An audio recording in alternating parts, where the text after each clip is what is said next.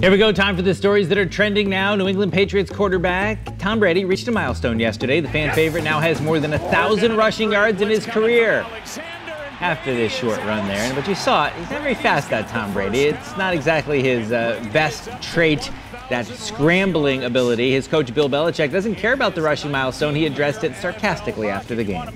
Yeah, that's really important to us. I'm not trying to go backwards, so I don't want us to go backwards anymore.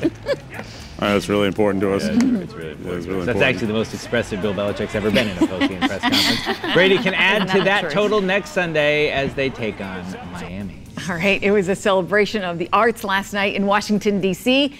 Pianist Philip Glass, country music star Reba, jazz composer Wayne Shorter, and singer Cher were recognized at the Kennedy Center Honors. Come on. That's Cyndi Lauper? Yeah, looks like Cyndi Lauper to me. There were plenty of wonderful performances, and Whoopi Goldberg delivered a great speech about Cher. And if you asked an 11 year old, Cherilyn Sarkisian, what she wanted to be when she grew up, she probably would have stopped, looked at you, and said, Cher. Yeah, Cher, of course. The co creators of the musical Hamilton received a special honor for groundbreaking work.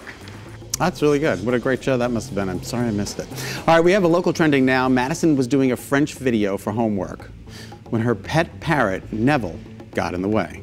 Neville. Neville. Neville. Bonjour, je m'appelle Madison. J'ai 17 ans. Madison's mom says Neville reminds her of when I dress up like a turkey.